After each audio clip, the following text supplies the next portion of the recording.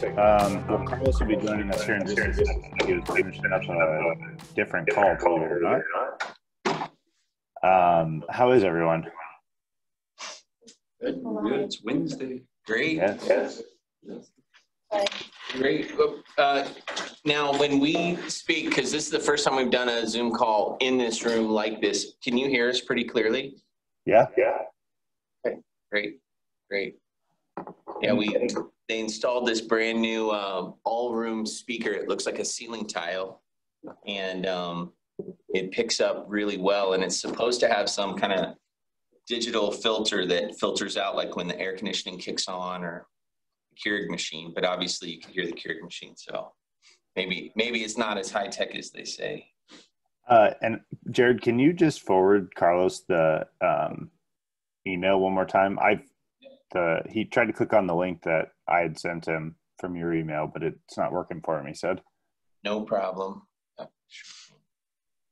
While you're doing that, um, maybe I'll just kind of recap what's on the on the board right now. So the the last the last time we all got together, um, I think everyone was maybe at their own house, uh, a little different than the classroom. So I think we've tried every setting. We've been in person, everyone's been online, and now you guys have been in the classroom while we're online. So, um, to recap from from last time, well, I guess the last couple times, the first thing that we started out with was the challenge, and this was identifying the true need that you're solving for. The next thing was um, learn, and this was combined with customer feedback to help narrow in, or maybe it might alter the need you're solving for. From there, we went to ideation. And ideation, again, involved feedback from people based upon um, your idea. And it may even further give you insights that change um, your the need you're solving for or how you're approaching the problem. So if you guys remember, we did the uh, bug, well, it was cooking spray versus bug killer spray. And they both, because of brand standards, they both look the same and felt the same, but obviously they do two uh, drastically different things. This is where feedback um, definitely comes into play and could prevent a lot of problems within a company. So essentially, as we're as we're taking this journey, we're starting out, um, or it's kind of a roller coaster, right? So the idea phase is kind of at the peak. This is where you're really dreaming, where you're thinking of every potential option that possibly could happen. You're you're designing for the extremes. You're saying, all right, what's our Disneyland experience, and what's the most simple thing that could possibly happen. Um, this this path, oftentimes throughout an organization, and I don't know if you guys have ever experienced this, but usually that part of of the idea phase or ideation doesn't happen within most organizations. Typically, what they do is they say, um, a good example. All right, we all need to work from home. So they say, how do we how do we do that? Well, let's uh, make sure everyone has a laptop. Let's make sure everyone has Zoom capabilities and they have internet. Right. So they kind of went up this this path. They learned or they had the problem. They learned about it. They thought of some solutions, and then that was it. They deployed it versus saying, okay, everyone needs to work from home. How do we create a Disney experience for them at home? How do we deliver all of their their products, their belongings? How do we send them something that maybe is sentimental to them from work in the mail that they can have? How do we provide them every tool possible to be successful at home? Which would include the obvious, right? A laptop, internet, um, access to Zoom. But again, it's a completely different path that most organizations miss out on. So today, we're going to move from really being able to dream and we're going to start coming down on this journey. And it starts all with the concept phase. So hold on one second here. Let me just move past this. And maybe before I jump into that, Jared, did you guys have any conversation around that or any questions that came out of uh, last session? No, we um, on Monday we spent some time talking about feedback and just what that is. and we actually watched a TED talk about feedback um, to try and make sure that we really understood what we're asking for when we're talking about it. And um, uh, the the thing that came out of that was a good quote where feedback creates um, a partnership. It doesn't put you on trial. And um, how when you're searching for feedback, you really are trying to hold up a mirror. You're not just trying to look out a window and give your perspective and tell someone, but you're also trying to get them to see things about you know themselves or their project or whatever. So we kind of drilled down on feedback a little bit on monday just to kind of make sure we understood that concept. Perfect. And that's that's usually and we we talked about it slightly when we talked about feedback but a lot of times people will fall in love with their their solution or their product or um, we call it falling in love with their baby, right? They, um, let's say they design the most revolutionary pen, you know, that you can write with. It's multicolored. It's got all these functions. It, I, I don't know. It, it telescopes any any function, but they love it. And then when they go and seek feedback, they just dismiss feedback because they love their idea. And that happens, I can't tell you how many times. So when you do go for feedback, you have to have a very objective mind, knowing that you're asking for feedback and people are going to give it to you, but you want the right kind of feedback. But if you ask for it, you need to be willing to accept it, even as difficult as it may be, even if someone um, tells you that, hey, I don't think your product's good, right?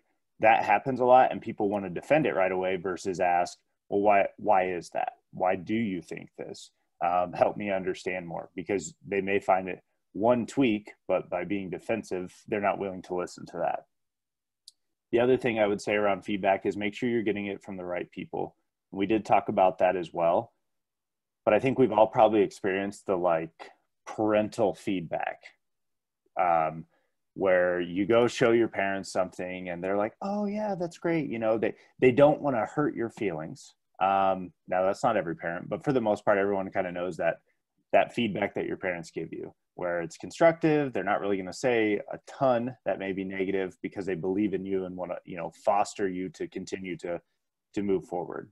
So when you ask for feedback, you really want to ask people that are again objective, but I mean complete, complete strangers, people that are disconnected with you emotionally, people that are disconnected with your product emotionally, and by disconnected, I don't mean won't care about it, but just have no emotional tie to anything that's going on. So when it comes to feedback, really evaluate who you're getting feedback from uh, because you want to get the right feedback.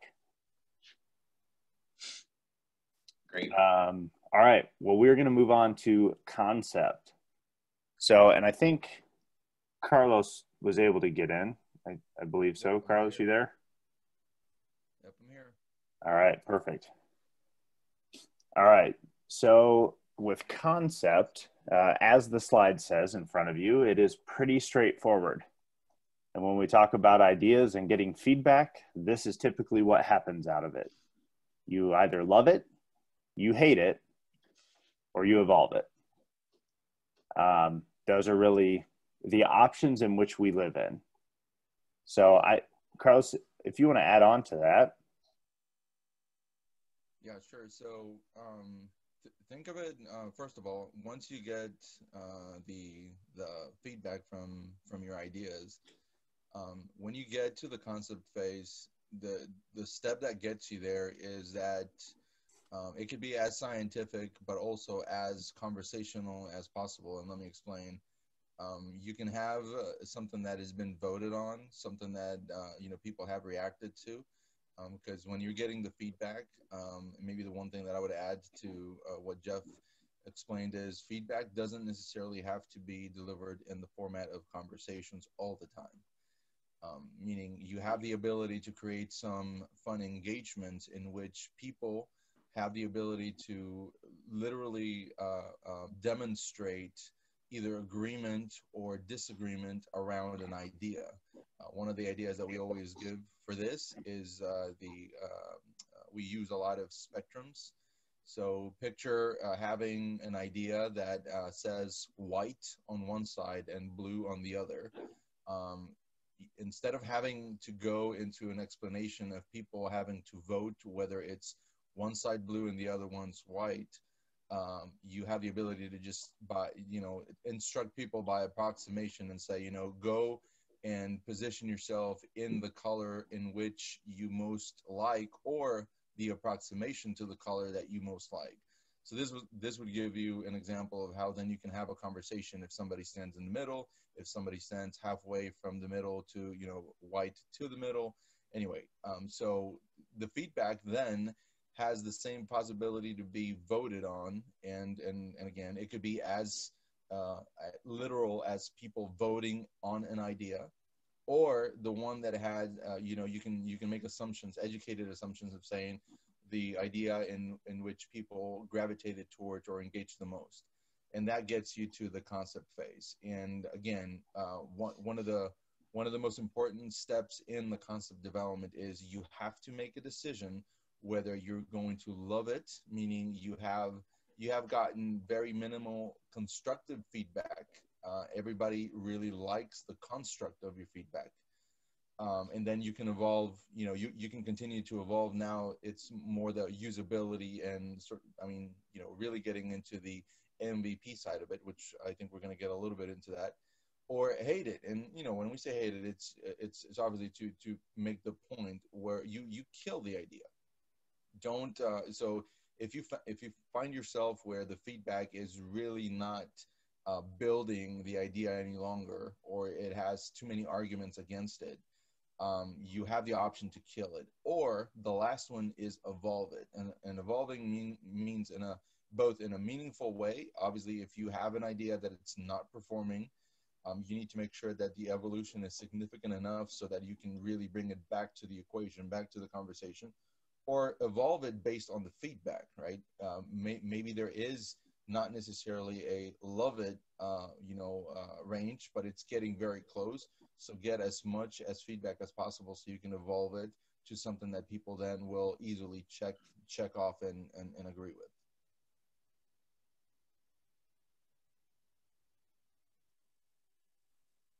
All right.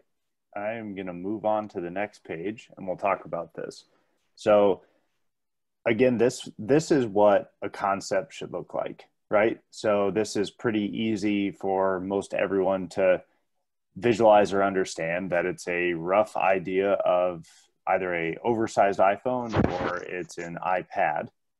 Um, but they have just literally cut out little squares pieces um, parts of maybe their idea uh, they're they're appears to be building an app, right? So it's it's purely reaching out, understanding feedback from people, and saying, "Hey, do you like the layout of this? Uh, here's here's a concept or or an idea that we've we've brought along the process, and now it's starting to become a little more real, and we want you to to test it out. We want you to provide feedback um, based upon you know, hey, this is where you click this, or this is this is what your dashboard would look like, right? So all of these things that people can interact with and actually give to what Carlos said, constructive feedback um, about just kind of the, the shell of the idea. And oftentimes this step, um, and we see it a lot from being connected to the startup world, this step gets missed. A lot of times, uh, if you if you think of an app, right? Let's say you have an idea for an app, you're like, hey, it's going to be a um, access app for me and my me and my friends through through school to be able to communicate with our teachers. A lot of times in the in the tech world, we see this step get missed because they say, okay, I just need to talk to my teacher. I'm just going to you know write some code. I'm going to put some buttons where they need to be and now i'm going to talk to my teacher. And they already go deploy. They spend some money. They they create functions and then when they realize that the adoption of their idea isn't that great, or the um, maybe the layout doesn't quite work for people, all of a sudden then they start asking the questions of like, well, why don't you like this? Why isn't it user friendly? What what could be changed to do it? Versus if they would have done this on the front side, it could have saved time, but also money, and that when they launched their product, it had a better adoption rate. So um, the concept phase is extremely important because if all the feedback they got truly was, you know what, the the dashboard of this gives me no facts, right? I don't care about this assignment. I don't care about what uh, you know um, how, how I get to the class. I don't care about the room number. I literally care about what do I need to do, what's my progress within the class, and what's my grade. That's what should be on the front. But if they never ask those questions to begin with, it's going to be really hard to develop a product, a service, or an experience to put into the marketplace. Hopefully, hopefully that makes makes sense. Yeah.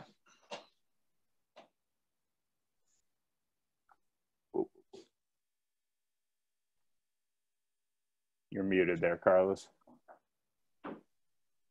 Um, it said, can you hear me now? It said host yeah. muted you. Yeah, you're you're good. Okay. Um, so one of the things that I was going to also talk about is, you know, the image here portrays something that I think it's very relevant to all of us, which is technology at this point. But um, and we always get this question, right? Because I think that it's easier for you to think through a concept, especially if you're gonna use some creativity with some paper and uh, some stock paper and, and, and just you know markers and crayons um, to create um, a, you know an interface of an app. Um, but i also want to provide just examples that um, and make actually the point that almost anything can be drawn and put into a concept. One of the examples that i always provide is actually bluebeam. Um, you know so when we when we started doing the concept development for Bluebeam, and especially on the layout and business model, actually, I'm going to talk about the business model more because I think layout, again, it would be easy to put, you know, to draw it up. But the when I would present the concept of Bluebeam, in order to make the concept, uh, you know, uh, something that you could physically engage, what I literally did was I created a separation of uh, boxes that had the the percentage representation of what what the model was going to be. So uh, you know, I, I represented co-work as primarily 60%. So it was a box, and I actually tried to make a rectangle out of it. If you can start, you know, imagining what I'm what I'm describing. Um, so it was it was a box that represented pretty much 60%. Then we talked about the coffee shop that represented about 30%. And then I uh, talked about the uh, consulting side that was back then, you know, version 1.0 was uh, considered to be a smaller uh, part of, of the business. But then the conversation really went how I seeked, how I saw it, the, the feedback was um, I would put all these cut out papers and make this rectangle. And I would say, according to the feedback that I've gotten today, this is what Bluebeam would actually be. So again, putting all the pieces together, um, I had the ability to create this larger rectangle. But then, and and for anybody who's heard me say about, you know, especially tell the story about the coffee shop, the coffee shop was something that was introduced as a um, as, as, an idea to make the concept viable in Ankeny, in, in, in the suburbs. And uh, one of the things that, um, you know, we just naturally reacted as humans, and this is, you know, primarily my wife and I was, well, we don't know much about coffee. So there was already a, a, an, an intrinsic fear of uh, accepting this feedback. So going back to the concept and, and looking at this, imagine this, again, this, this image of the business model where again part of it you know 60% was the, the co-work side and then you had 30% coffee shop and then you had 10% what i would do was what i would do is i would actually remove the coffee shop and and, and again physically so the person who i'm requesting feedback on the concept was literally watching me move this piece from this already perfect tri- uh, uh, rectangle and then I would make my statement and I would say, I would really want to have your feedback if we remove the coffee shop element out of the business model. And then the question would be, what do you think is going to happen to this business model?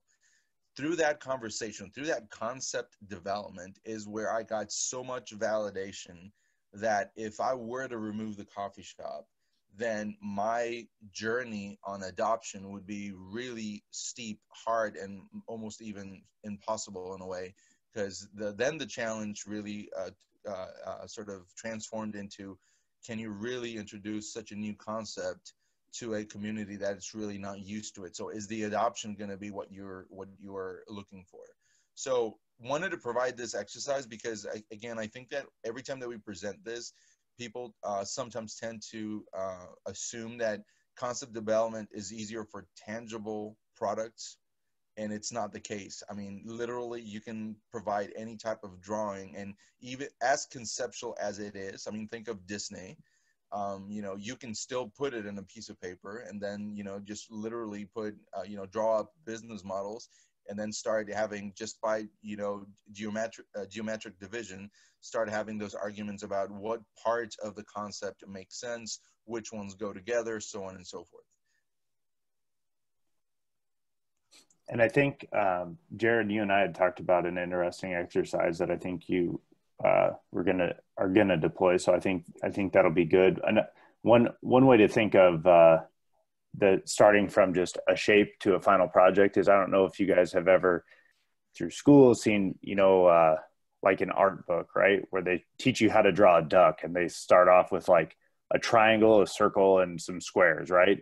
And then all of a sudden you start making those a little. Yeah, they have a little more definition, and then you keep adding, and they have a little more definition and by the time you're done and and you're flipping through this book of how to draw you know quote unquote a duck it literally looks like a duck at the end but when they started it was just rough outlines of of shapes of okay well this is approximately where the head's going to go. This is approximately where the body is going to go. Um, one of the things we touched on i think it was last time was the power of feedback at this stage and the reason it's so important to have these shapes like carlos said or just very low resolution options for people to get feedback is they will always relate the effort put in to the feedback they're willing to give. So again, if you just put four four pieces of paper in front of me that are different colored and say, "Hey, how would you, you know, in, in the Bluebeam uh, example, put these together, or how would you validate certain parts of this?" People are probably going to give you some pretty good feedback because they see you probably just cut out pieces of paper and it didn't take you long. But again, if you go all the way to an app um, in this, or if think of if Carlos would have built Bluebeam and then asked for feedback and it looked completely different than it does today, but everyone said, well, why didn't you put a coffee shop in there? It's a lot harder to make any changes, but also people are probably less likely to tell him you should have had a coffee shop because the building's built. They eh, they would evaluate that. Wow, a lot of time and money went into this. It is what it is. I don't want to, you know, give feedback that may change or alter how it looks today because it's going to cost a lot of money and you've already put in a lot of time. So again, really evaluate using this step and make sure that you leverage it to get good feedback because people will ultimately give you the feedback from the time you've committed to the project so far. It makes sense. Um, all right. So again, here's the recap of that. So pretty straightforward. You love it, you hate it, or you evolve it. Now we're going to go into test. So wait, you're not done testing and learning. So again, we talk about these dashed lines. Um, and now you have this black one that comes out of, well, you actually have two. You have one that goes all the way back to learn, and then you have one that goes all the way back to the challenge.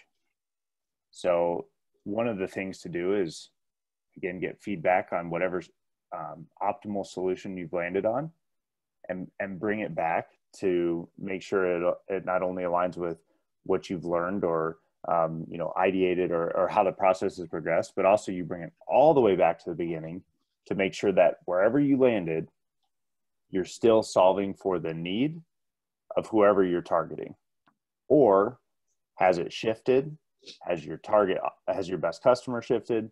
Um, but really understand that when you bring it all the way back you're solving for a need. If you get to the end of the process and you've just created something you like but it doesn't check the box of solving for someone else's need it's going to be a miss. Do you want to add to that Maybe carlos? One- yeah i think um, you know one thing so pre-covid um, when we would show this slide, we would get quite a bit of um, just, I'm going to say, I don't think it's fair to say pushback, but when we would be in front of clients, I think that this is the part where they had, I guess, the most discomfort in in in what we were sort of describing. Because, I mean, if you obviously if you look at the black line, um, it's really telling you that some of this takes you right back to um, reframing the challenge and puts you really on square one. And this again, this is where we would talk about the term. And and and by the way, um, there's there's really two ways of reacting to this word some people react to it and uh, sort of wrap around, wrap their minds around a negative connotation, uh, which it's not. And actually, if you have any comments, I would love to make make the argument. Primarily because that's how I like to have my my title. But disruption, I'm talking about disruption, right? Um, then we would say, hey, so uh, if something were to disrupt your industry, and that's where we would lose people, where they were like, ah, I mean, yeah, it's, I mean, but really, how how realistic is that? So now we fast forward to our current reality, and this is, you know, this this black line has become very relevant, very real, um, and you know, almost in everyone's world, right? I mean, we have been impacted. And the question though about having you having you as an individual or your business um, uh, or, or, your vision, having the ability to go back and have a reset on the whole, uh, you know, offer value proposition approach is something that again i don't think that many uh, you know um, just businesses have had the opportunity or maybe stomach to do but this is really what that represents is does your you know from from from an organization perspective does your organization have the ability to really rethink itself and adapt with all the available variable pieces? Because there's going to be some fixed and you know i'm going to make some obvious correlations. Um, you know if you think about uh, brick and mortar actually the the room that you guys are are right now in, in inside um, there's there's a lot you can do with the furniture but there's very little you're going to be able to do with the space right? I mean you have some boundaries around you and you've got walls. I mean and if you need to and especially if if movement requires agility there are going to be some things that are going to be out of scope. And and even in in in the you know in in the spirit of a crisis, um, you know, you wouldn't want to spend your time painting the room, but it's more of the ability of the furniture. So I'm, I'm actually going to leverage that as an example of um, we use we use this analogy quite a bit when people are defining or building business models. Uh, call it objective goals, whatever it is, even from a personal perspective. You know, your um, so I'm, here's here's the the provocation. Um, and let's just keep it to personal goals, right? Your professional uh, personal goals. Does your goal include wheels? Now let me explain. Um, in the room that you have, and I'm, I'm trying to I'm trying to make out. I think that the tables have wheels. Um, I'm not sure if, if I'm right or wrong, but yes, you do. that that okay. So so that would be one element of transformation that you want to make sure that you incorporate in your strategy, right? So when you're purchasing furniture, um, one thing to consider, and and and trust me, there will be an add-on to the price, right? And I don't know if you guys have ever done this. I'm telling you, you know, uh, in Bluebeam, I, I definitely know this, but a table, a working table, collaboration table with wheels is more expensive than the one that doesn't because of that mobility. But even that, though, it's an easy transformation um, uh, option. So I'm gonna I'm gonna start making some some connections here with the analogy. So if you have a room, if you're gonna build a room and you want to have the ability to transform, the bare minimum that you should consider is to put some wheels on every single piece of furniture because when the time comes, when the need is there, it's literally just a matter of unlocking the wheels and moving some furniture around. So, from our perspective, it would be a miss for you not to consider putting the casters on your on your uh, on your uh, furniture. But now let's now the other aspect to see is make sure that you're not blinded by by the type of transformation that your organization has the ability to do. So having wheels first and foremost is something that um, all or if not many already have. Um, some organizations forget that they have wheels, so they don't move, you know, the the furniture because they've never had to do it. But in a way, it's and and that's something that we always say is, you know, and and, and literally you can do this in physical spaces. There's a lot of times where you're going to see a, a furniture, a piece of furniture, and it has wheels, and especially if they reside on top of any type of carpet or soft. If you move it around and you can see that that you know furniture has really sedimented itself there you know that that's never been moved. So the whole transformation ability has never been deployed. the obvious ways of transformation, especially from a concept perspective, right, from a solution, uh, if, if you would be in, in this challenge, um, one of the things that we uh, we we got to inter- interact with in this uh, in in this period with Jeff was that a lot of our clients thought that because they had deployed a strategy to be remote, uh, like literally what we're doing right now, that signified a good um, sort of behavior of transformation. And it was a it was, it was sort of like a hard conversation to have when we would have to provide the feedback and say, well, you know what? Um, first of all, it's a good reaction, but it's not necessarily innovative right i mean you you you may have felt it that way because your organization never really opened up to the ability of the wheels right so you you never leveraged uh, you know this virtual ability so that was the hard part of you know that was the challenge was that this was the first time that you needed to figure out how to unlock the wheels and move the furniture but the reality of making something new is not there so going back to would that have been a uh, a black dotted line? No, it wouldn't. Um, it was just something that it was it was sort of like a patch. Now reinventing yourself, you know, even having the ability to say, how can we take tear those tables apart and you know look at the fact that you've got quite a bit of wood right? You've got quite a bit of surface. You've got some frames, you've got some wheels, and then come up with a new solution, a new type of furniture that that you can build, that would be considered transformation. So I'm I'm painting all of that because again, at the beginning, you know, pre-COVID, it was very hard for us to make this argument without in a way losing people uh, on the fact or maybe the thought that uh, yeah this is not going to happen this could this would be so hard for it to be real now it's a little bit of the opposite, right? Now we have the ability to uh, it happened, but our challenge now is to make sure that people understand that there is really uh, a transformative change versus incremental change and versus obvious change. And in, in your in your concept and your solution, when you are deploying this, that's the same way that you have to assess the results um, you are going to have some feedback that is going to become, you know, even when you have already a solution out there, um, reality will calibrate the the optimal level of your solution.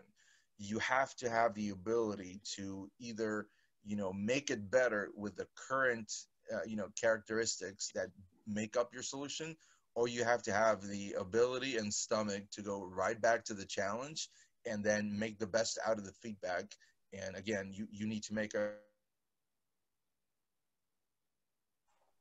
Oh.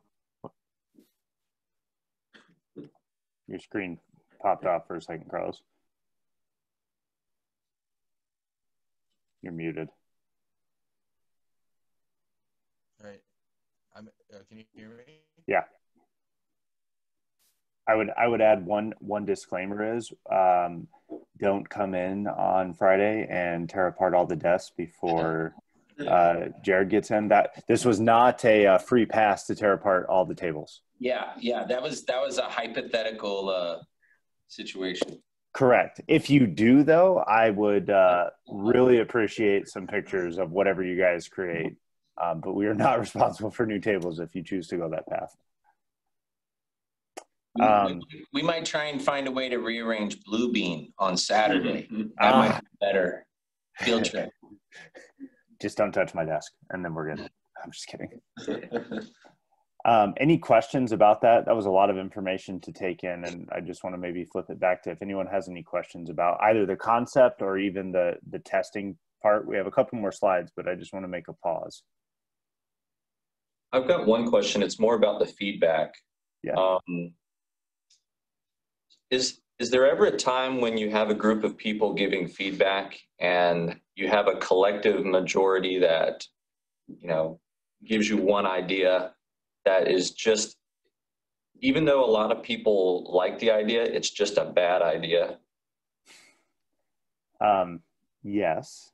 So if typically what will happen is if someone provides that idea, so well, first off, gaining feedback, right? Some you can either gain it in groups or you can gain it one on one. A lot of times it's beneficial, and, and we find to to gain it um, initially one on one to help hone in an idea. But when you do, when you're in a group setting and maybe someone does recommend an idea and you build on it, um, what and so are you t- talking within that group it's a bad idea or just let's say you take it back and you still don't like the idea maybe to clarify. I'm thinking it, let's say you were able to open up blue bean in like the the beginning stages and you had 30 people in there who were able to give you feedback at one time. And 20 of those people said hey i like this idea. And you think about it and it's just a it's a bad idea off the start but 20 of those people like it. They just don't know that it probably would be difficult for you to execute or probably wouldn't work for your business model. Should you try to accommodate that or should you throw that idea out? I will actually flip that to Carlos because I think that happened. Yeah. So can you hear me? Yes. Okay. Um, so I Carlos's voice is really quiet. All right. Um, bear with me for a second. Can you hear me now, or is it still? It's it's quiet, but we can hear you. All right. Sorry, I don't know what happened with uh, this whole connection. Um, one thing that I would uh, um, sort of mention on that is for, first, I mean, the first step you need to make is you have to realize that if you have a majority of the feedback, then the feedback is accurate, whether it has a positive or I would say an expected or unexpected impact to your to your project. And I don't know if that makes sense. Um, but you know, again, the the only reason or the only way that you can dismiss, first of all, again, if you, if you haven't the numbers, then there is a reality check that a lot of people are agreeing to a version of the concept. So, uh, you know, the step here is to actually validate then that, you know, if, if you, again, actually, in, in a way, if you disagree as a, as an individual, um, if you disagree with the feedback, all you have to, or you should do is to continue to validate that with a broader group. That's the only way that you would have to uh, approach something like that because, you know, as, as I explained, I think that, uh, you know, the, the story that I'm giving for, for Bluebeam, that's exactly what happened, right? I mean, the the feedback of the coffee shop was something that I did not want to hear, um, and and I actually fought it and fought it quite a bit because um, the the whole story around me, uh, you know, doing the little squares and and doing I did that because I wanted to get rid of the coffee shop concept because again I was scared of it. Um, it complicated my business model greatly uh, I again, it actually it made it more complex. It added more cost. It created everything. Um, even actually, I'm I'm, I'm going to share even some you know some more more details. Even from the fact of just uh, you know talent, uh, which is one of the biggest expenses in when you're when you're considering to do to open up a business.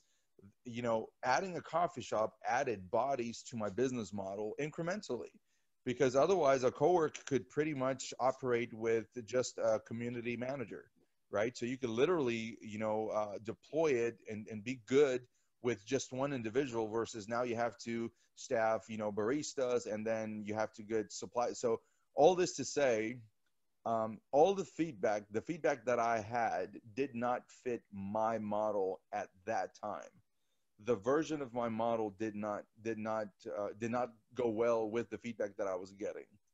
But the so then I had to amplify my scope and I had to continue to validate whether and again and this is more from my perspective, right? It's me against the fact that uh, I said, well, this group of people is wrong. I'm to go and seek some other group of people that I know it's to be right and that's when they started validating and then i had to answer my question which nope the feedback is valid everybody is gravitating to this, is validating. So then I had to then reframe my thinking, and it was nope. Um, the only way that this is going to be effective is by me incorporating something that I thought was not right.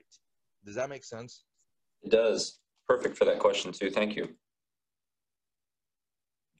Yeah. Thanks for sharing, Carlos. And you had a really good example. uh, I've got a question. Yeah. Um, talking about taking your idea, conceptualizing it, and then working towards a test solution.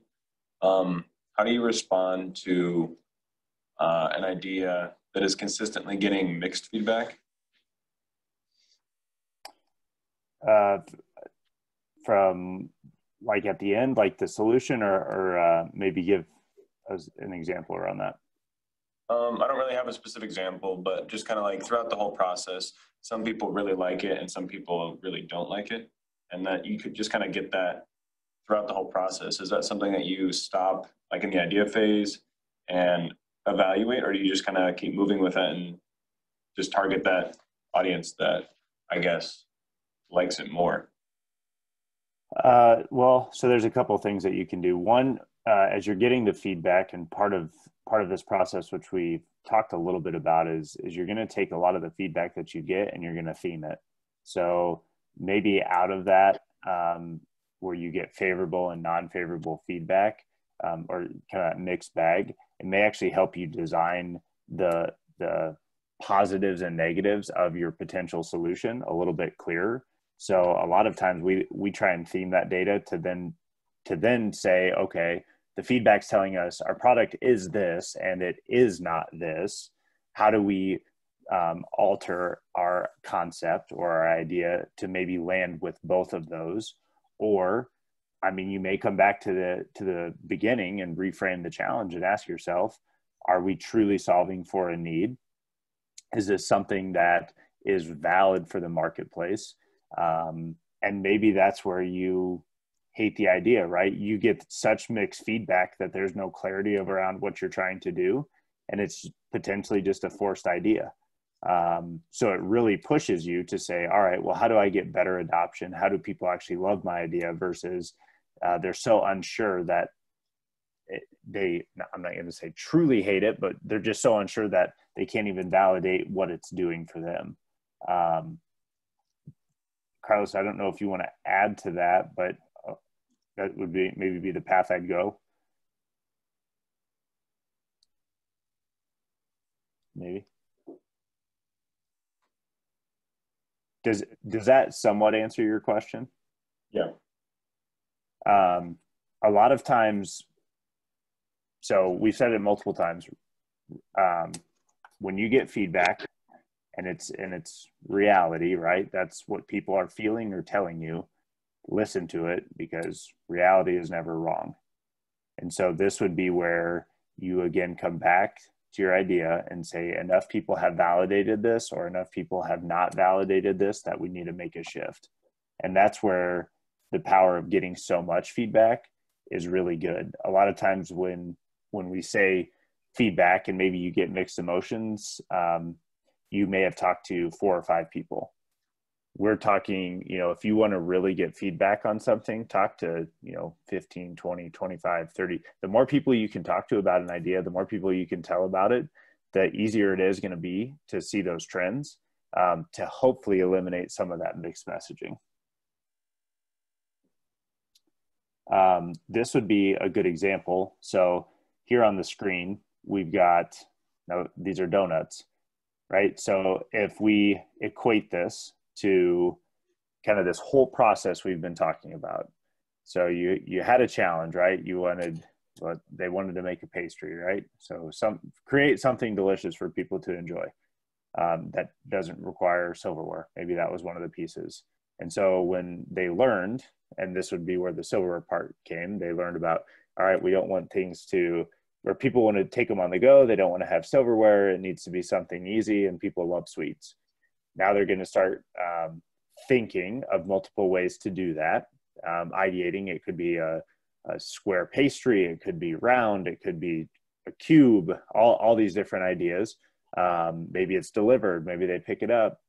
then they're going to land in a concept and maybe the concept says okay we've landed in it it's got to be something that's baked and it's sweet um, what are things relative to this to this category and they're going to get feedback again. And so where they land is this mvp and the, the importance of the mvp in this scenario or this example is when we talk about the minimum viable product it's just truly making sure that it, it connects and what they're testing for here would be taste right? So do people like the taste of the donut?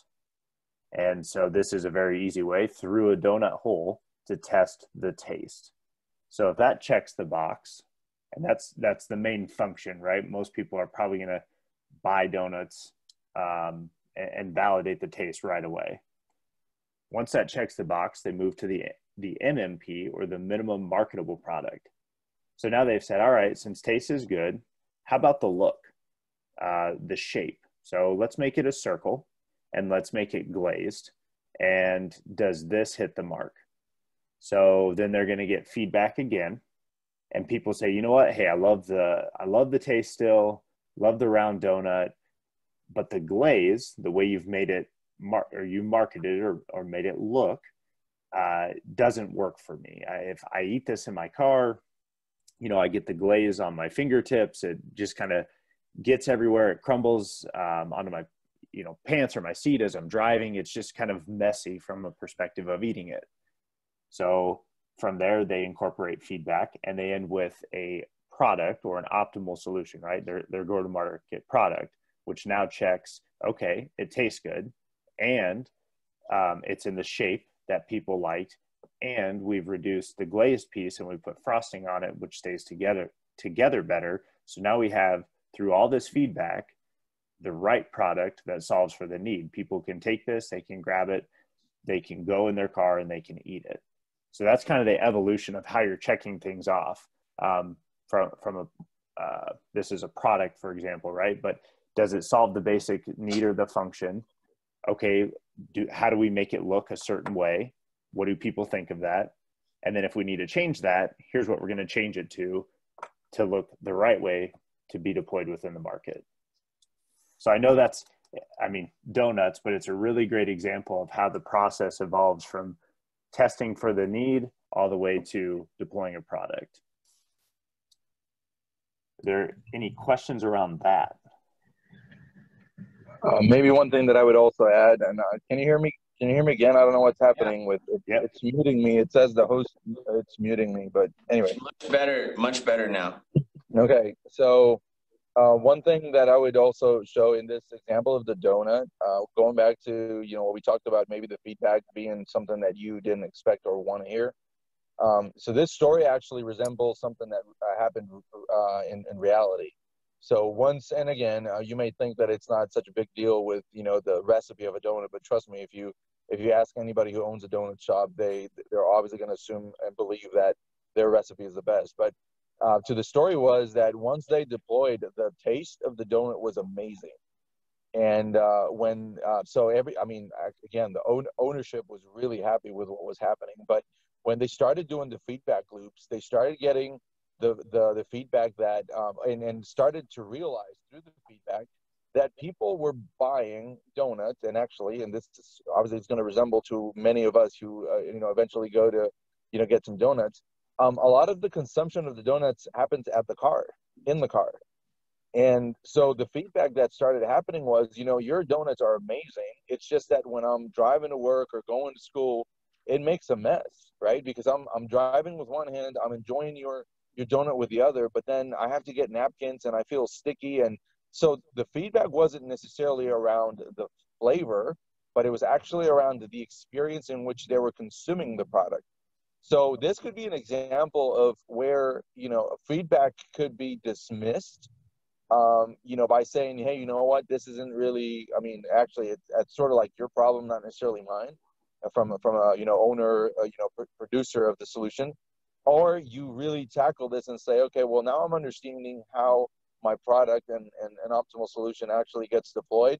Let me try something new. So then when you when you look at the product, the glaze you know the, the the hard covering that doesn't make a mess that's why they did that evolution from glaze to the non-sticky sort of uh, packaging of still flavor on top of the donut, if that makes any sense. That um, I can't, I don't know who asked it, but where you asked if feedback's not favorable, right? That again plays into that point of Carlos saying they didn't give feedback on the taste, but they gave feedback on the shape, look, feel of it. Um, that's where you may think um, that feedback isn't favorable to you, but you still need to acknowledge it and understand it and vet out the feedback you get because that really helps shape um, or round out the actual solution which you're creating. Yeah, maybe one thing that I would, um, and and I think you may have heard me say this before, um, you know, especially for the question or the sort of situation of what happens when the feedback is not what is expected. So I'm again, I'm going to play a little bit the devil's advocate and say, let's not say that it's wrong, but it's let, let's just say it's not what what you expected. The rule that we go by, uh, you know, that the, the rule that we really deploy is reality will never be wrong. So it doesn't matter really what you think. Reality will never be wrong. So make sure that whatever your action items and, and next steps are, are aligned and as close to reality as much as you can. So if you have that perspective, I think that that will actually help you uh, sort of manage those situations in which, I mean, if the question is, um, I mean, do we do we actually is this right, wrong, or or is my source right or wrong? Try to answer it from that argument statement and saying, is this reality? And if it is, then that means that um, that it's right. I, I would say, um, well, we'll just visit the the last slide we have here. Again, this is just the process, right? So starting starting with the challenge, defining the true need, learning, um, uh, you know, understanding what opportunities may be out there, ideating, dreaming of possibilities, and designing for extremes, creating some concepts, uh, and and understanding what those are, and then testing your solution. And the biggest theme or the constant around all of this is getting feedback throughout the entire process. And at the end, it is coming back and seeing if the optimal solution you've landed on connects with the challenge you're solving for, or if you need to reframe your challenge. Um, so maybe with that, we would just say if anyone has any questions, we'd be more than happy to answer them. Well, let me ask you about uh, when it comes to the optimal solution. It's a that's a little bit of a um, tongue in cheek in a way when you put it up against this whole process because it's only temporarily optimal, right? Like you have to be willing to say it's optimal today and maybe it's optimal for the next 12 months because we need to kind of run with it for a while, but it it might not always we can assume it's not going to always be optimal, right? Correct. So, and that's a great point. And that's the reason we use even the word optimal, right? So they meaning the optimal solution, it's it's right for the current conditions in which you have or the challenge you're solving for. As things evolve, as your business changes, or maybe you add a function or want to shift your products, then a new solution may be required. For us, no solution is ever final. Um, there's always iterations to to happen. A lot of times, from an organizational standpoint, what we see in businesses is people check the box of finding a solution. They say, "Hey, I need a phone system." they do a little bit of research, they incorporate a phone system, and that's it. They check the box. They don't come back to it. 20 years later, they're saying, man, this phone system's been terrible. Why are we still using it? It's because they don't continue to evolve their needs based upon their current um, reality or the current um, just needs of that organization, right? And so being open to understanding that no solution is final and that you may come up with an optimal solution today and a week later it may not work right so a really good example would be let's say on march 9th of this year you came up with a solution on how teams are going to collaborate and literally eight days later on march 17th when pretty much the whole country shut down your solution was no longer optimal and now you had to recreate and come up with a new solution now that's a very drastic impact on the business which forced a different solution to be created um, maybe about how teams collaborate, right? It's not in person with sticky notes anymore. It's virtual with, you know, virtual whiteboards. but again, that just shows how conditions can change in which a different solution may be required.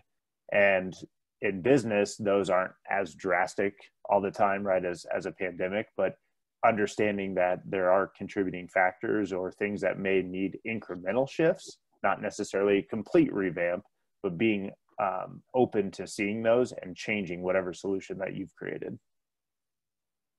Have you guys found that some industries are better at um, this process of being willing to, you know, come up with optimal solutions, but then being willing to relook at them and then basically are there some industries or some types of leaders that that gravitate more towards being proactive with this and some that really just have a very hard time with it have you guys run into that with any of your clients Yeah, I think. yeah, go ahead, Carlos. No, I, I so I, I think the the answer is going to be yes. There's going to be some thought leaders and and that they're they're in sort of in the industry of disruption and actually maybe this is going to be an unexpected one but um, the startup world is exactly that right so if you really want to have a, uh, a an example of a a, um, a category or a section that is constantly working and getting things better would be the startup world. Now, that doesn't really respond to your question as is there a company right now? But I would say there's definitely a community that is focused on doing that. Now, granted, I'm not going to say that every single startup hits the mark on, like, again, that transformative change, but that's what in in the way that's what they're in it for right it, they're really trying to make this huge shift from a to z from and then pick your category usually right now, and the, the, obviously the common theme is technology. Um, but we do have some examples um, of how the change, you know, and, and, being progressive. And I think actually you've heard us uh, say this quite a bit, but the one that we'd like to bring up uh, quite a bit is Chick fil A. Um, I mean, Chick fil A is a really good example of a company that has um, made it uh, part of their mission to be, you know, disruptive and innovative in the category in which they reside and again they're competing well, actually they're not competing anymore. They're they're leading with things that any of their competitors could actually do but they've been so uh, uh, you know it, it's so systemic for the other ones um, to operate that the com- competitive and comparative uh, gap is just huge with just service. They they operate technically and i'm going to say technically because the reality I, I don't think that's a personal opinion right? But they res- they technically reside in the fast food industry by they but they beat everybody through customer experience. So it's for us it's a fun experience it's a fun example to show how this company you know the, the their biggest strategy is customer experience not necessarily the next rocking you know chicken flavor that, nuggets that you're going to have. Um and then mm, here's the other thing that I would answer that question, Jared. The bigger the organization, the harder it is.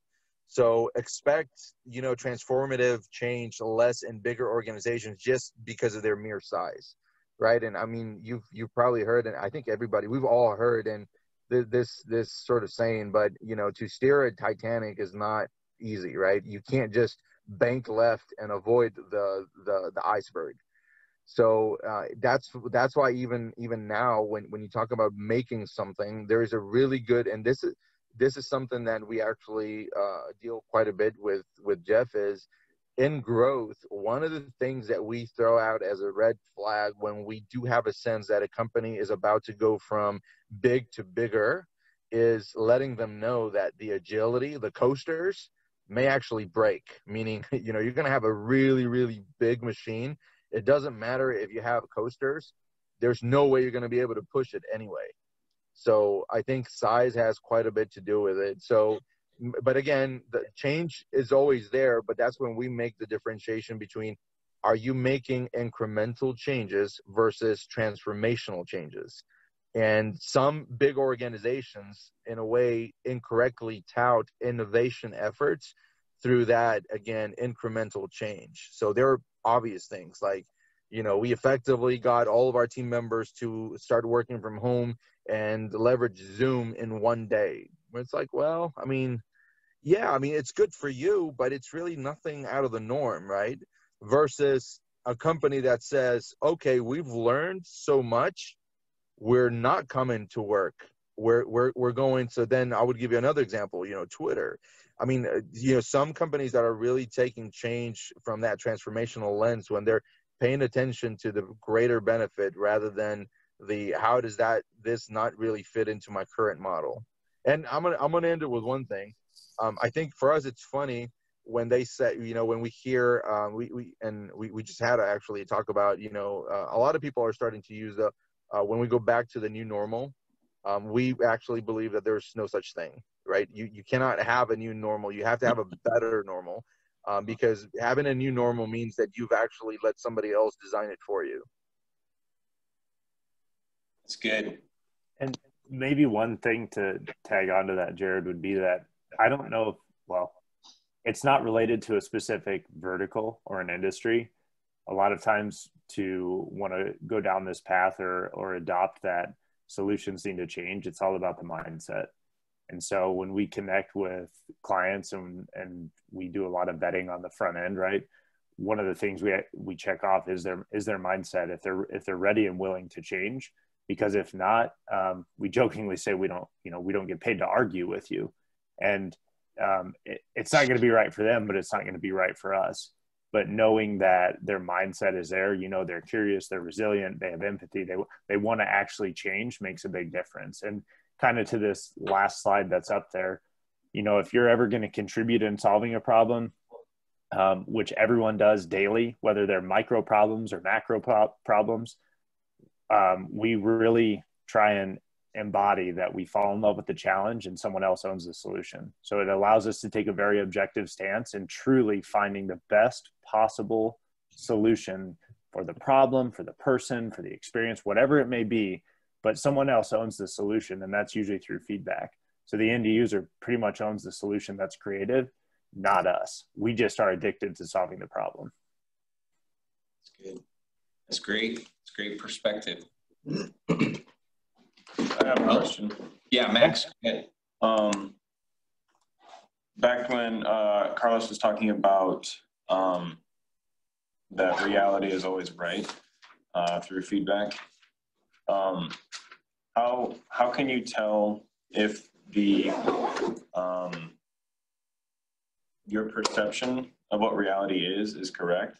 So, like, if you're if you're getting feedback from people and you're getting um, like all positive feedback how can you tell if you're not like how can you tell if that is that perception is real or how can you keep yourself from um, like we talked about in class having like an echo chamber where you're just kind of getting yeses to all, all your questions um, i mean is that something where you just broaden your your base of feedback I'll let Carlos.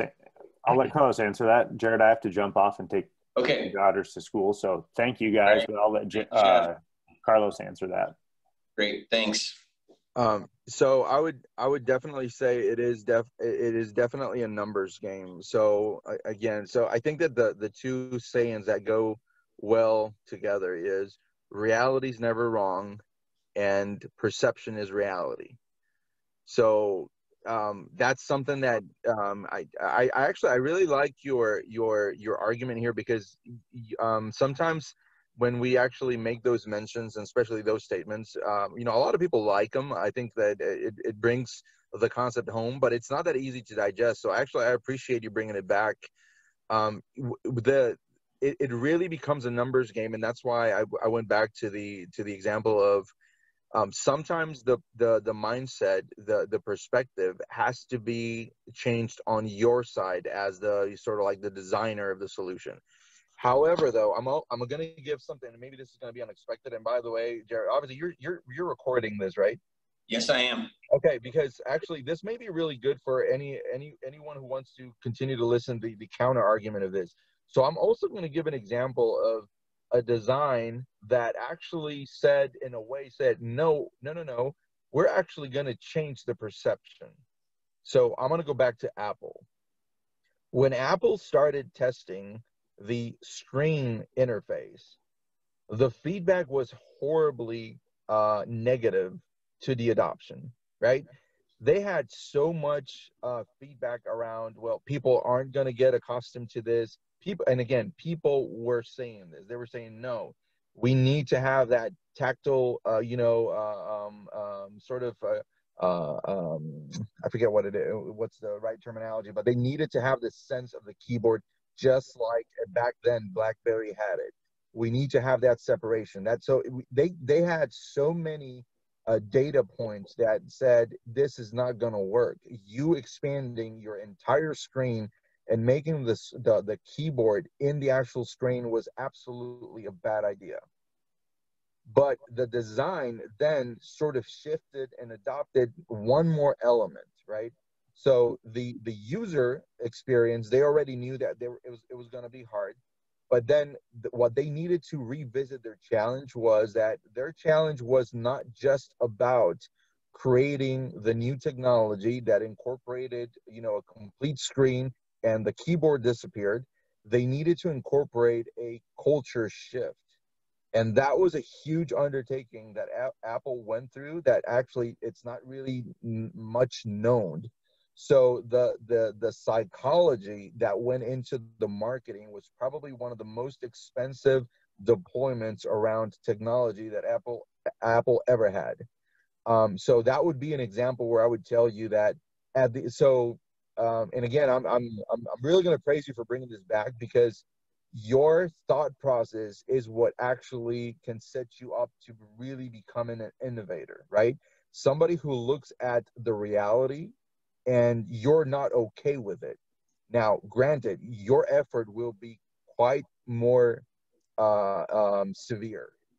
So when Apple deployed this, they went against the odds, but then they made it cool and they made it wanted and they started making so many improvements to the user experience that people started adopting the inconvenience that we still live. I mean, think about the, the number one problem that we all have and we have actually stopped complaining about is the dirty screens right? Everybody at the beginning that was the number one complaint. And by the way apple went the route and actually a lot of technologies are still going the route to trying to create some sort of a glass surface that doesn't capture fingerprints uh, the way that any glass surface does but we've actually as a society uh, have uh, successfully muted that uncomfort you know uh, uh, uh, point to for the benefit that was created additionally. So the value add was greater.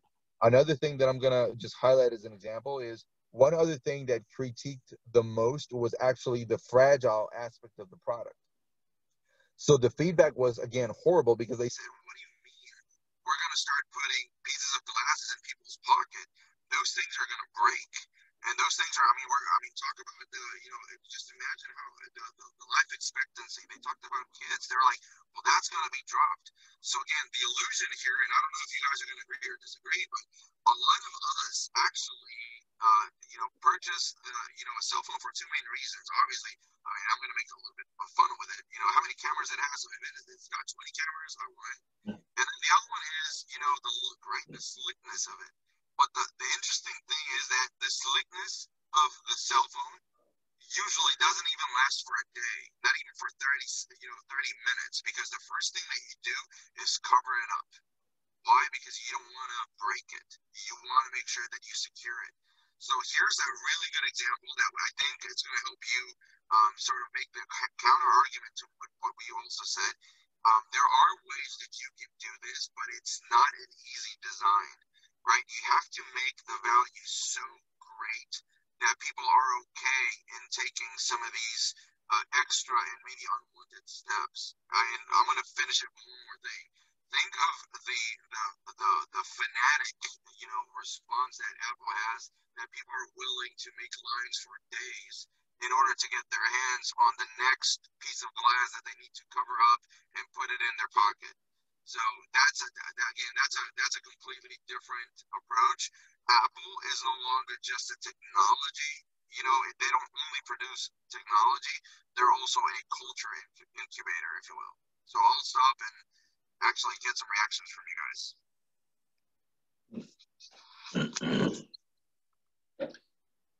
Well, that's a great example. I mean, it, it, it does illustrate the fact that, um, it could go either way. Like you, if you have enough feedback, you could have an idea that goes kind of counterculture for a while, but the feedback, I think you used the word validate earlier. Um, the feedback really validates whether or not you should take the risk, I guess. We've been talking about risk in one of the other classes. Take the risk of going after that optimal solution.